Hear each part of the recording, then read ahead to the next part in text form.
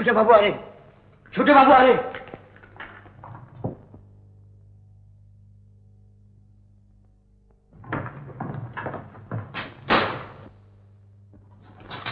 दीवान जी, आपसे पहले भी कह चुका हूँ, जब मालिक आते हैं तो नौकर उठते हैं। नौकर उठते हैं। दीवान नहीं।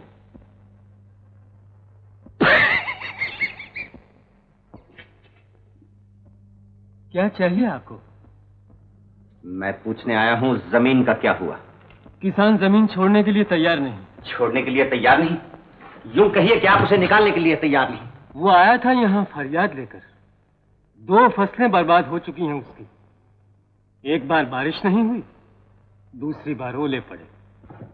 ओले हमने नहीं बसाए सिर्फ़ ज़मीन उसे दी है लगान पर। और लगान हमें मिलना ही चाहिए। लगान तो वो हमेशा देता रहा है वक्त पर वक्त से पहले। अब भी उसे देना होगा। और मैं लेकर दिखाऊँगा। सुखिया चल मेरे साथ।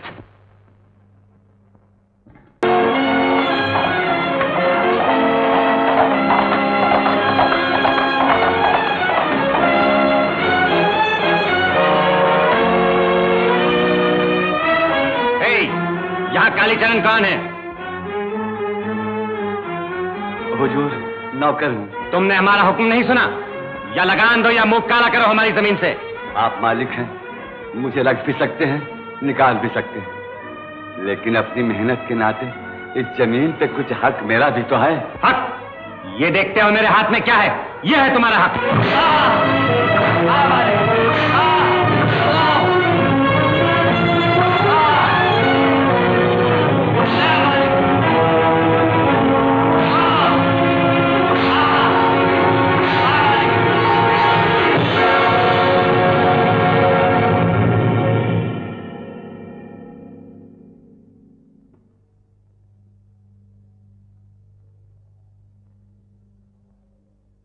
उठो बाबा।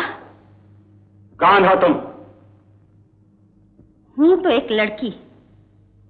आपको कुछ और नज़र आती हूँ? तेरी ये मजाल जानती नहीं हम कौन हैं। जानती हूँ। फिर तेरी हिम्मत कैसे हुई हमारे बीच आने की? हम मालिक हैं ये रियाया है हमारी। हमारा जब जी चाहे हम इसे ज़मीन से निकाल सकते हैं। ज़मीन पर आपका हक है तो किसान का भी हक है। आपके लिए ये सिर्फ़ ज़मीन है। उसके लिए माँ है। वो कैसे छोड़ दे ये ज़मीन? अभी बताता हूँ।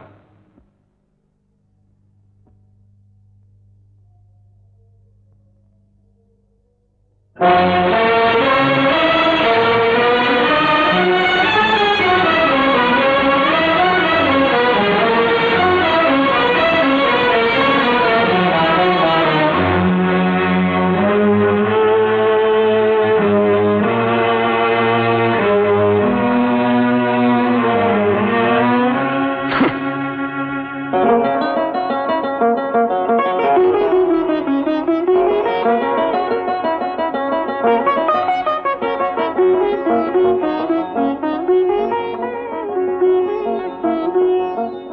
क्या हुआ? बस यही हुआ कि एक चमकती हुई बिजली जैसे खेत में आ गई। देवियों जैसा रूप, शेरनी जैसी गरज, माथे पे ऐसा तेज कि खाम खा आदमी झुक जाए। मैं मंदिर जाता हूँ, मालिक। देवी का उपासक हूँ। मगर उसे देख के ऐसा लगा जैसे दुर्गा, सरस्वती, लक्ष्मी, सभी की छाया हो उसके मुख पर।